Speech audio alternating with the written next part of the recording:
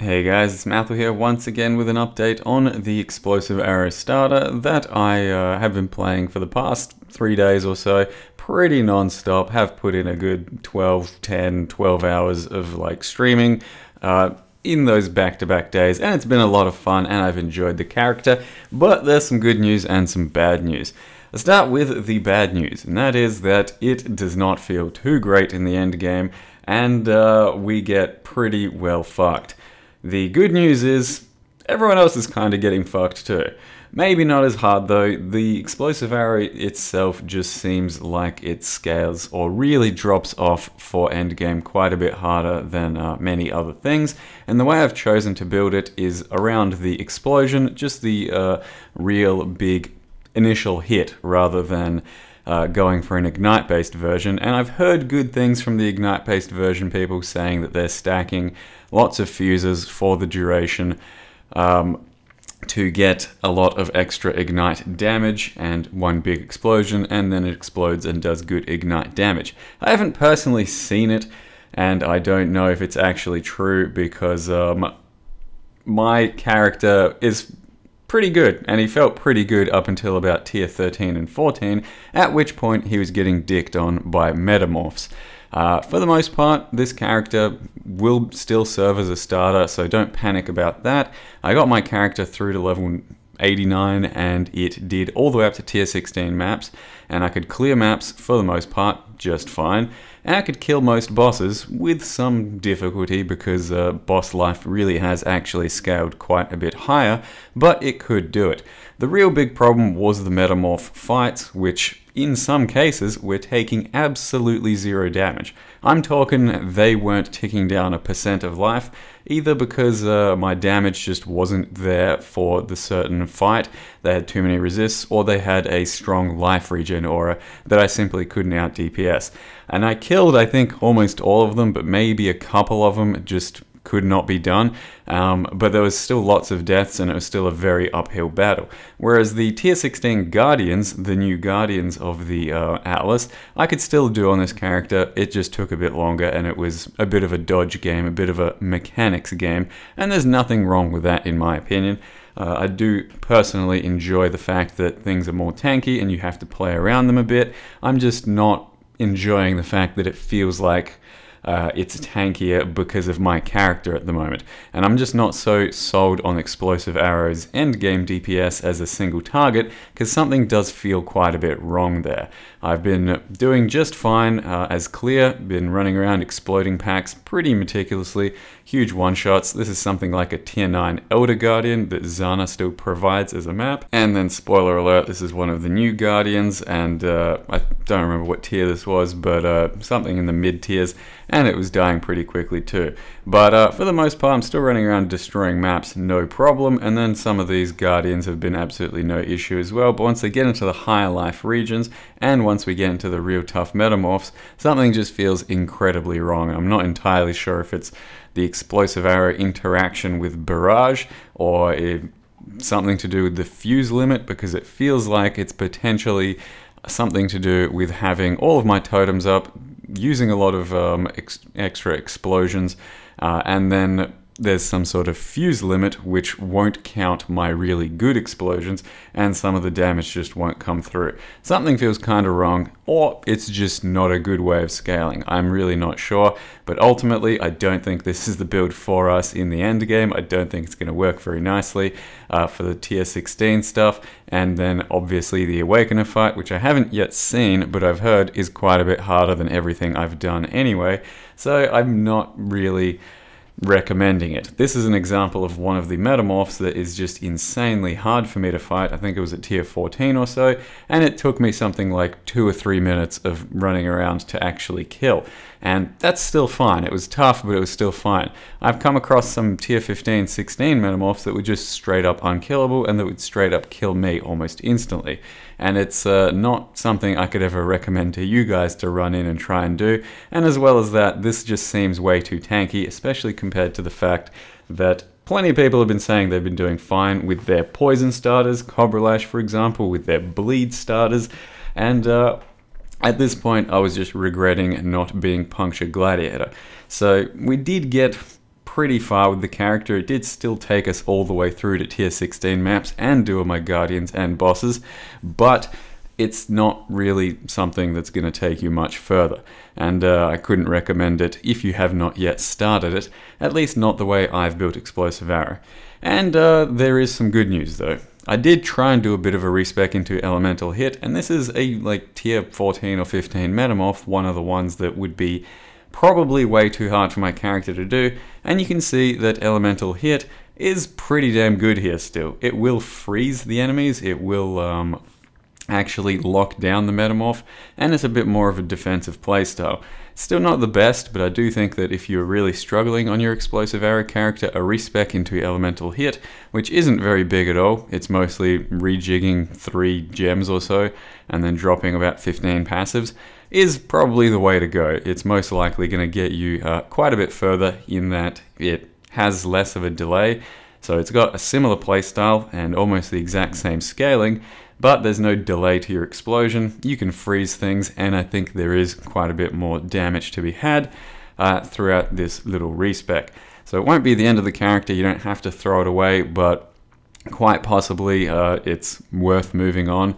Uh, that said, if you still haven't even come to like tier you know one maps. If you still haven't gotten to the maps it's not the end of the world. You will be able to clear things. You can follow my template. It speed clears and it does completely fine from tier 1 to 10 uh, roughly something like that. And there's no issue there. It doesn't feel like there's any real problem with the character at all. It's only once you get to tier 12 plus that certain fights just start to feel abysmal and uh, you'll probably feel kind of bad. But it might actually just be also that a lot of bosses are pretty buffed, a lot of health is really buffed. This is a tier 16 temple and the life on all of these things seems to be quite substantially higher than it ever used to be. And uh, it might be something that a lot of people are feeling across the board on their builds, but I do think that there's something kind of inherently wrong with the way I've built the single target on this elemental, or sorry, explosive arrow character. So I do still want to show the character off uh, in its completion before I uh, move on to something else. So in its final form, the character did have about 6k life, uh, just a bit over, and uh, a decent amount of damage, I thought. A lot of crit, a lot of crit multi, and it was pretty reliable for what it was going to be doing. Um, and I was using the totems quite liberally, so I did have five of these explosive arrow totems, and I played around with whether or not you spec out of it and try um, just being pure sort of uh, explosive arrow, because there is you know something to be said for just running around and only explosive arrowing and using the totems as little help. But in the build that I've basically given you guys, I used the totems quite a lot because you had five of them and having five of them down really did help a lot in many situations and I think that's still the way forward. So you're still probably, if you're playing this build, should be specking down to uh, Panopticon and grabbing uh, Watchtowers. I specced out of that and it just felt worse. So I don't think um, that's the way forward, but I did um, try out plenty of things before benching the character, and uh, I think the Watchtowers sort of thing was uh, the way to go. But uh, overall, we just sort of started to run out of damage. And I think a Sixth Link would have helped as well, but it wouldn't have helped enough to the point where I went from not doing anything to the bosses to doing plenty and uh, it just wasn't good enough. But the eventual 5 link here was Explosive Arrow, uh, Elemental Damage with attacks, Combustion, GMP, and Lesser Duration. Lesser Duration, of course, just so that we can have uh, the explosions a little bit quicker. And then we'd sub in Fire Pen uh, when we needed single target, and Barrage over GMP when we needed single target as well. But like I said, something about Barrage with this shit felt kind of off. I'm not sure if there's a fuse limit, if Barrage is just lowering our damage way too much. And uh, I still played around with just using hypothermia instead as just a bigger single target. So we're firing off one arrow that's uh, dealing much bigger damage. And sometimes that felt a bit better, but still ultimately not good enough, I don't think. And uh, that was the um, eventual 5 link there. And hypothermia does work because skitterbots are always chilling enemies, so keep that in mind. And then our totem setup was Ballista Totem, Ele Damage with Attacks, Explosive Arrow, Slow Proj, and Ele Focus. Um, because we don't need the ignites at all from the Ballista um, Ballista Explosive Arrow. And the rest of the gear ends up going into Star Conjure, tried to get it some good chaos res and some early damage with attacks across the board. Uh, so it was pretty fine-tuned gear. I ended up anointing Essence Sap, so that took care of all of my mana in its entirety. Uh, and I dropped the Mana Flask in the end. It wasn't perfect, but it did allow me to drop the Mana Flask and put on an Atziri Flask, which gave us a bit more damage, or you can use a Wise Oak. But um, a Mana Flask still did feel quite a bit better. And that's basically all there is to the character. I did try and get as much um, crit multi as I could, and in the end, like I said, I respect out of um, this stuff for Elemental Hit, and if you want to copy this build for Elemental Hit now, uh, all you have to do is take out Endless Munitions and put in Ricochet, uh, take out the ballista nodes because I don't think they're very useful for the elemental hit version, and then pick up some other good stuff. I grabbed these two nodes here, I went over to elemental equilibrium, and uh, I think that's about it. Uh, because we end up alternating with our attack for elemental hit using all three uh, elements. And then every single time you pick a new element it should be weak to the previous elements thanks to elemental equilibrium. And that's what it will look like roughly. You'll be shooting um, just one element going through the motions and getting different um, weaknesses thanks to elemental equilibrium, and it feels pretty good, but it is kind of disappointing that Explosive Arrow uh, just didn't hold up. Like I said, people have been saying that the Ignite version is better and uh, still does some good stuff, but I haven't seen anyone um, say that about the actual endgame versions like tier 16 and stuff, and that's what I'd be curious to see. And uh, I'd like to believe that the explosion for um, Ignite should be better because it's still a big chunk of additional damage to start with, and it's a good starting point for uh, fire damage, so surely there should be some good Ignite scaling there. I just haven't really seen it yet, and I uh, don't believe it till I see it.